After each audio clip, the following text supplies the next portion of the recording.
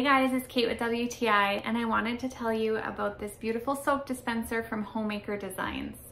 So as you can see, it's a really beautiful cream color, nice size. It has that embossed soap written on it.